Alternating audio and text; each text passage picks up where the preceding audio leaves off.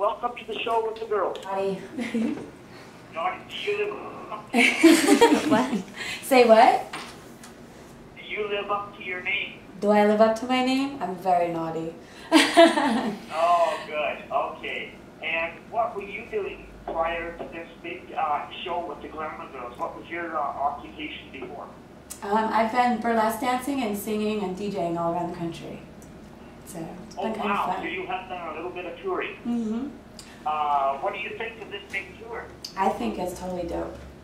Gonna be like the next big Uh, thing. with, the Al included in this, where do all of you girls and Al, where do you want to see the Glamour Girls future? Where do you hope to go with this?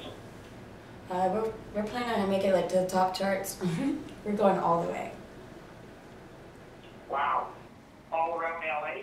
Uh, yes, all around LA, Hollywood, California, Southern, Southern California.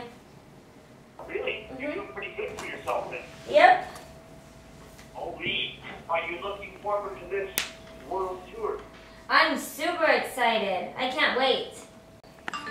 Oh my God, girl, you're amazing. um, who is the next girl that's part of the Glamour Girls? Spunky.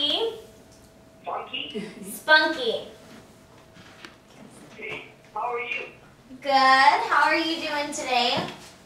I'm doing pretty good. I never really thought this was something like being able to talk to you guys on a show like this, but this is fantastic. Yes. Prior to the Glamour Girls. I was just, you know, working. I've been singing for a while, so it's definitely something that, you know, I wanted to, to get into. Um, DJing has actually been a part of my family for a long time, so it's, you know, I've had some experience in it, and I've just trying to been pursue it, pursuing this, and I've got it. So we're gonna go for it all the way, you know. And telling me all about this whole new project coming up with all of you.